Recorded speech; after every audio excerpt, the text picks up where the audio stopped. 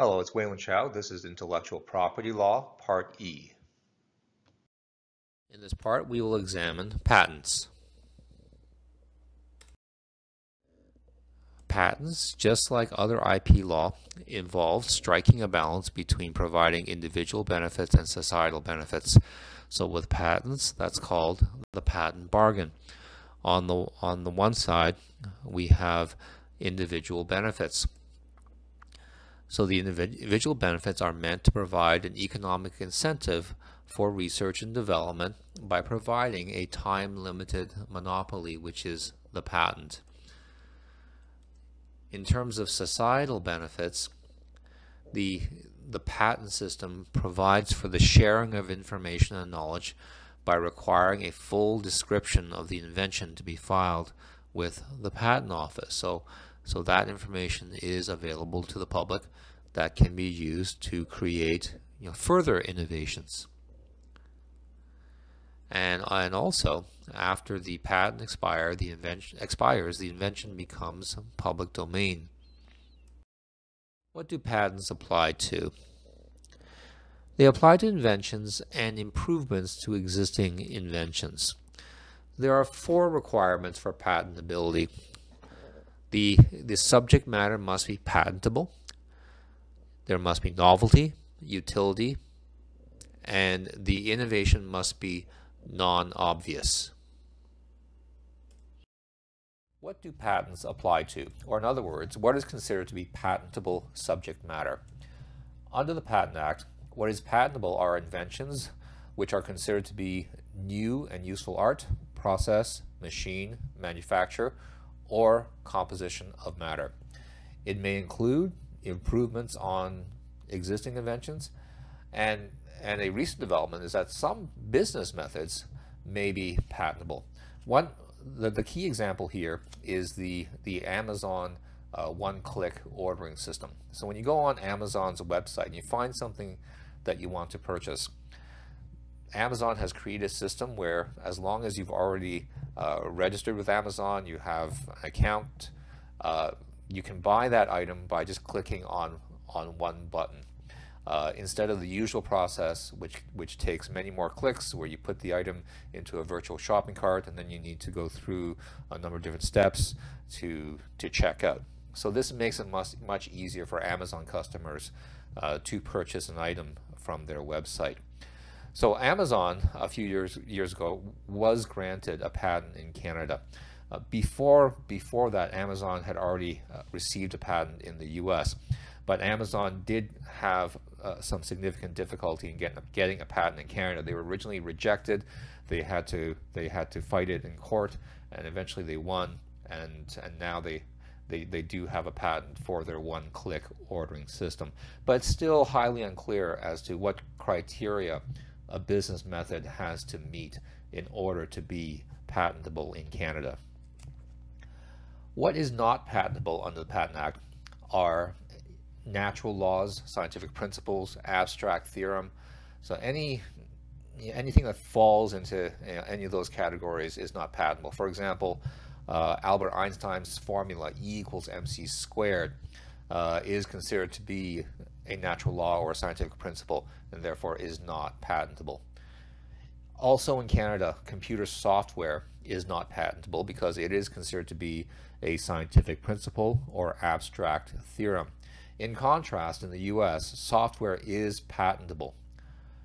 What is also not patentable is any kind of higher life form, such as plants or animals. Now, on a more microscopic level, the, the, the, uh, the genetically modified genes or cells that may make up a plant or animal, those genes or cells are capable of being patented.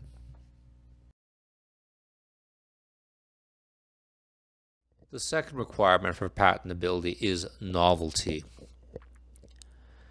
What novelty means is that the invention has not previously been disclosed or become known or otherwise made available to the public. In other words, there's no public knowledge of this invention.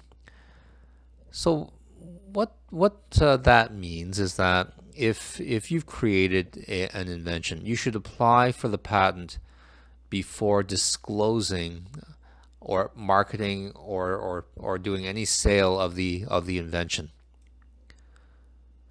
So since a patent is granted to the first person to file, not the first person to, to, to invent the invention, it's very important to apply for a patent as soon as possible once the essential elements of the invention are complete. So the picture here shows the US patent application by Apple for something called a magic keyboard. The third requirement for patentability is utility, which means that an invention must both work and have a useful function. The fourth requirement is non-obvious, in that the innovation involved in the invention is not obvious to a person of average skill in the field. So an example, uh, a simple, seemingly simple example of this is uh, this combination drinking straw and spoon and a patent was granted for this in Canada.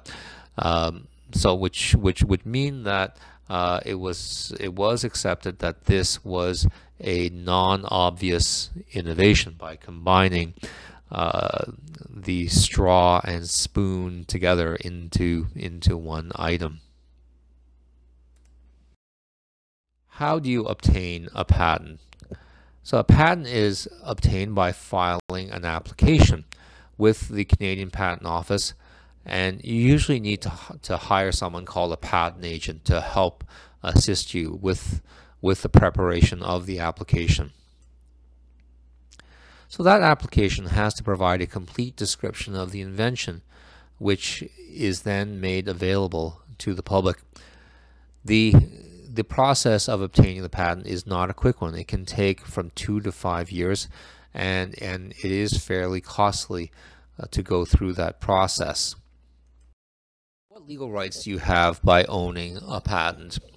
You have an exclusive right of making, constructing, and using the invention and selling it to others to be used. So this monopoly right lasts for 20 years. The, the, there is an exception in that a patented invention can be used by others for research, experimental, and commercial uses. Now, unlike copyright, patents of inventions by an employee belong to the employee unless the contract stipulates otherwise. If you remember with copyright, in that same situation, the, the copyright work would belong to the employer to economically exploit a patent, the owner may do a number of different things. They can choose to develop and market the product themselves, or they can license the patent to have someone else bring the product to market. The patent owner is then paid royalties. So that license can be exclusive or non-exclusive. Another thing that the, the patent owner may do is just sell the, the patent outright to another person. Where a patent is infringed, that patent infringement is a civil wrong, which entitles the patent owner to sue the infringer in a civil lawsuit. The potential remedies would be very similar uh, to the remedies available for, for a trademark. Damages, accounting of profits, injunction, and delivery of the infringing products. Having a Canadian patent only gives, gives the patent owner monopoly rights in Canada. Patents are done on a per country basis. There is no such thing as an international patent. But you know there are international treaties dealing with with patents. So for, for patent protection in foreign countries that are members of the Paris Convention for the Protection of Industrial Property, which includes Canada, the foreign patent application is dated as of the date of the Canadian application. So that foreign patent application must be within one year of the Canadian uh, application. So you, you, you get the Canadian, app, Canadian uh, application for a patent put in first, and then you have a year to apply for a patent in the foreign country that's also a member of the Paris Convention. Under filing under the Patent Cooperation Treaty or European Patent Convention has the same effect as filing in each country under that treaty. So if you make a, uh, a patent application under the European Patent Convention, that application is effective for all European countries that are a part of that convention.